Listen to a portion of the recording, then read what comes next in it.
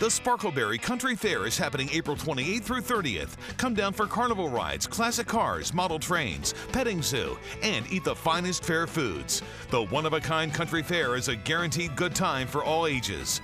The Sparkleberry Country Fair is located on the corner of Two Notch and Clemson Roads. Admission is only $5 per car. Mark your calendars for April 28th through 30th, a three day event you will not forget. For more information, visit sparkleberrycountryfair.org.